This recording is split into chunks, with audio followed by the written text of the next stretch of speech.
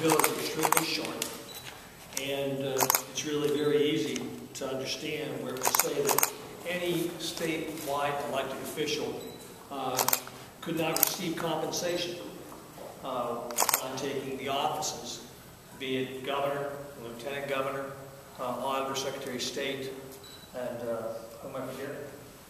Treasurer. And, uh, and the attorney general. But um, I, think uh, that, that Nick makes a very, very good point.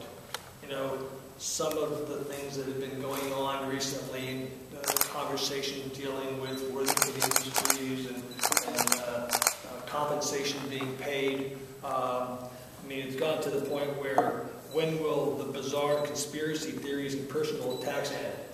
Well, the bizarre conspiracy theories are ending, at least between us two, in this bill. And uh, the attacks, because this is not an attack on Governor Kasich. It's not intended to be an attack. Governor Kasich is the sixth governor that I've worked with. But I've had the honor of serving in this General Assembly through different administrations. And if you have compensation, be it Governor Kasich or anyone else, a statewide elected official, Nick and I firmly believe that they should take the same process as former Vice President Dick Cheney. That is to put any compensation or any holdings into blind trust. We think that is the appropriate way that statewide officials should act. It surely was the appropriate way that Vice President Dick Cheney operated, and we believe that's the way our state officials should operate as well.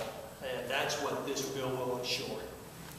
Um, and other than that, uh, I really don't have any other comments. I know that Nick and I would be more than happy to uh, answer any questions. The bill, as I said, is not very extensive. It's not very long. And quite candidly, I, I, I really look forward to the support of Governor Kasich on this bill. I hope that he will support this bill. And, and it may surprise some people. He may. He may support this bill. And uh, I would hope that, uh, you know, Attorney General DeWine and uh, uh, the Treasurer and the rest of the statewide office holders say, I think that's a pretty good idea. It's not complex. It's not a very complex idea. It's pretty simple. And uh, not often do you get uh, simple solutions to complex problems in state government. But you know what? This is a pretty simple solution to what has apparently become a complex problem for Governor Kasich.